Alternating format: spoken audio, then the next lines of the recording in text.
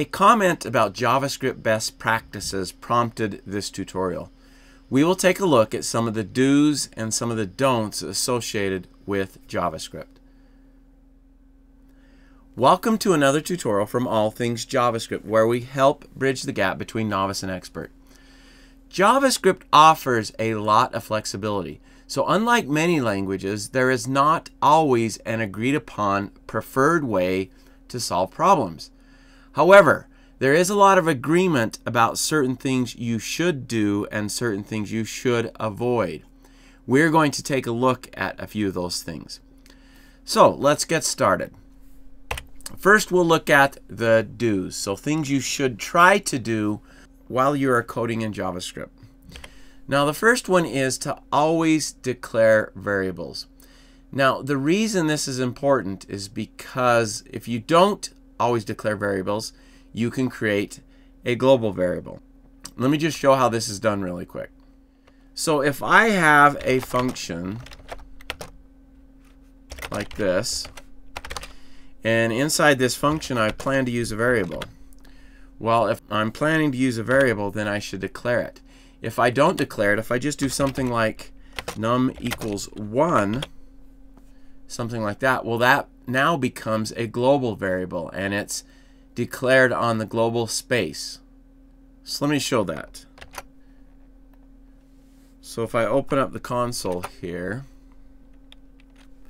and then I refresh this page, and I invoke that function test, you can see I get an uncaught reference there. Num is not defined. So it's telling me that the variable has not been declared.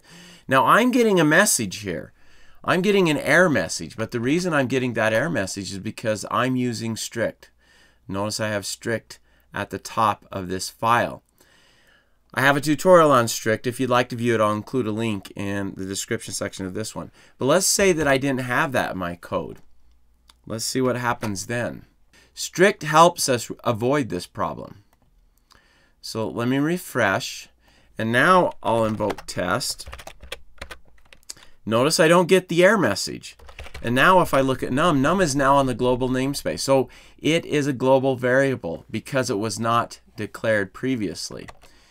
Now if I just get in the habit of always declaring it with var, let, or const, whichever I choose to use, now if I invoke test, it runs, and num is not defined on the global namespace. So it's not a global variable. So a couple of ways to avoid that happening. You can use strict as a part of your code, or you can just make sure that you define all your variables. And I recommend that you define all your variables. Just get in the habit of doing that. And define them at the top of your code. That way you know they're always in one place. That would be another recommendation that I would make. So always declare your variables. Use the triple equals instead of the double equals. Now, the reason this is important is because the double equals does coercion. So it does type conversion before it checks to see if the value is equal to each other. And so if you want to check to see if the two values are exactly the same, you need to use triple equals. Now, there are some situations where you may want to take advantage of the double equals because of the coercion that it does. If that's the case, then go ahead and use it. But you should be intending to use it when you use it. There should be a reason for it. By default, you should always use the triple equals. If you need a review of coercion, by the way, I have a tutorial on that, which I'll include a link to. All right, the next one. Use semicolons. You're probably aware that semicolons are not required when you're writing JavaScript code, but it is a good habit to get into to always use those semicolons. Without that, you could run into some problems. Let me give you one for instance.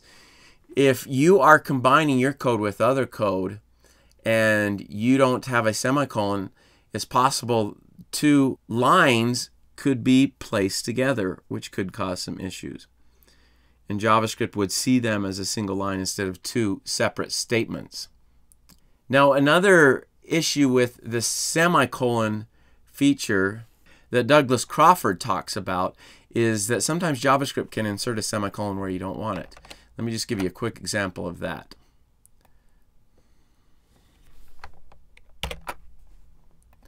So let's say that I have a return statement in a function and I'm planning to return an object and I do it something like this.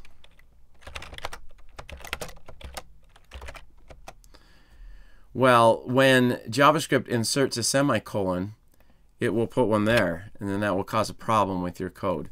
So in a case like this, put the curly braces with the statement so that that doesn't happen.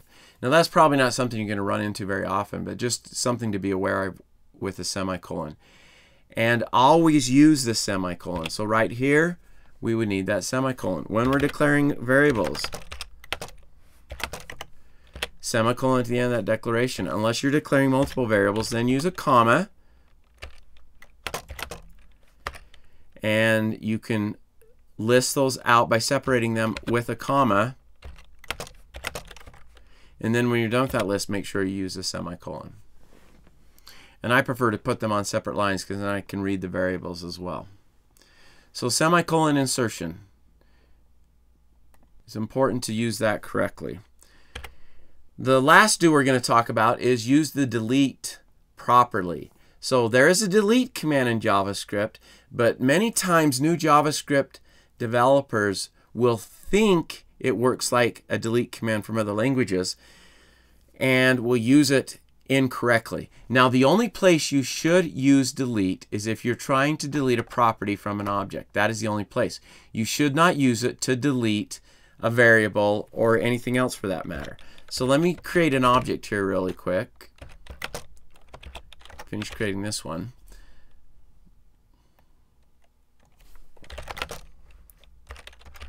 Oops. There we have an object. Let me save that. I'm going to jump out and jump to the console really quick. Refresh this. And then in the console, looks like I got an error. I put a semicolon there instead of a colon. So fix that, save it, jump out again.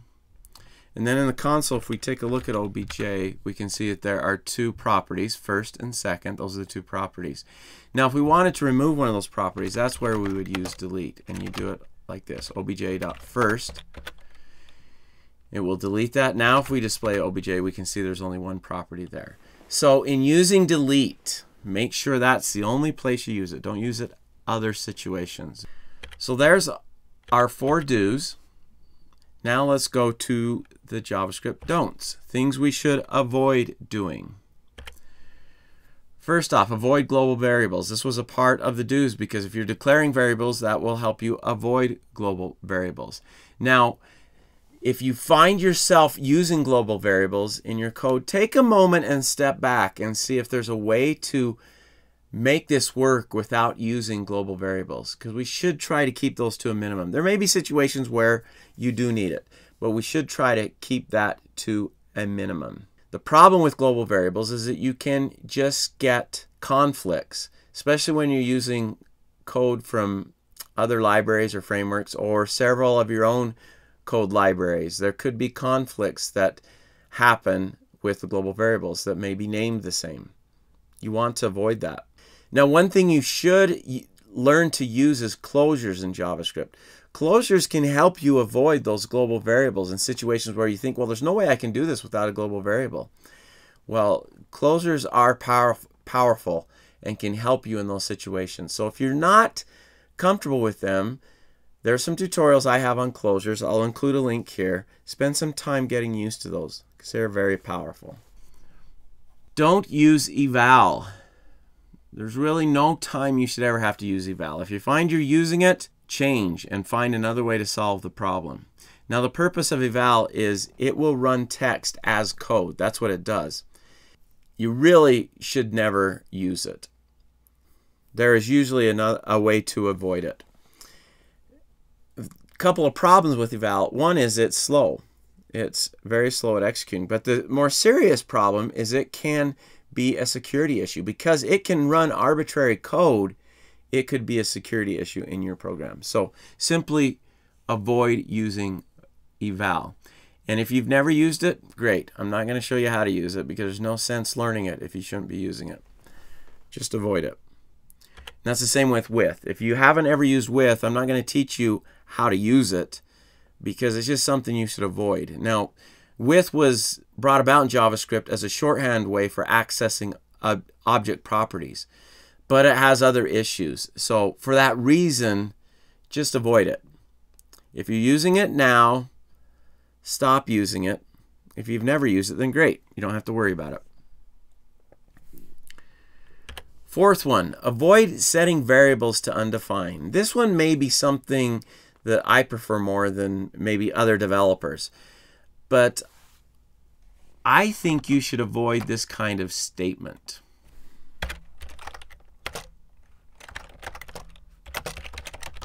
Sometimes we like to define our variables when we declare them, which is great. That's great to do.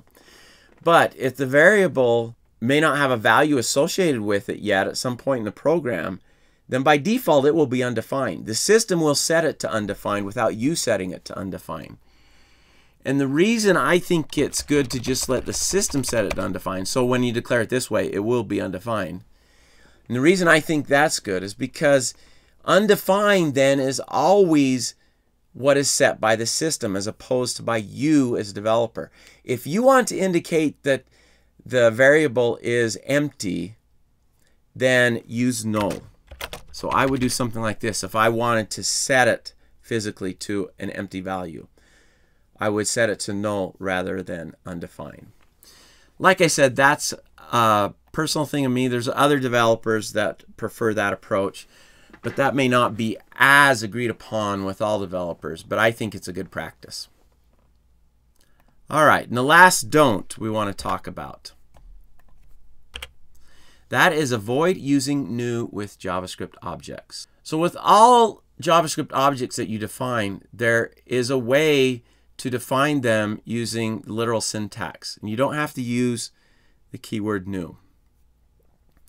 Now, if you're creating your own object constructor, then in that case you do need to use new. But for the default JavaScript objects, don't use new. Use the literal syntax. Now, obviously, you should not be using new to define primitives. For example, if you see something like this, you should not be doing that. String is a primitive value. You should not be defining it with new. As you probably are well aware, this is how you should define it. That's the same with numbers as well. Now, the other default JavaScript objects that you should not use new for, one is object. When you're defining an object, do it this way. This is the literal syntax up here. So I didn't use new object to define it. I just use as literal syntax. With an array, you should define it this way instead of using new array. If you need an empty array, just do it like this. I remember when I started with JavaScript, I would use new array to create an empty array, but here's how you can do it with literal syntax as well. Regular expressions. Define that with the literal syntax also. Be like that. Instead of using new reg exp. And then I don't think anybody does this, but you could define a function using new function as well. But I think most people define those using either a function declaration or a function expression. And that is the preferred way to do that. So those are some JavaScript do's and don'ts, some JavaScript best practices. And hopefully you found those helpful. Now, before we're done here, please hit the like button. It can help others on YouTube find this tutorial. You can also hit the bell button to be notified about new tutorials when I release them. And if you haven't subscribed yet, hit the subscribe button. Or click the circle link on the left, the one with my face. I release a new tutorial each week. You can click the video link in the center to access another tutorial right away, or click the link on the right to visit my website, allthingsjavascript.com, for full courses and a complete list of tutorials. Thanks for watching.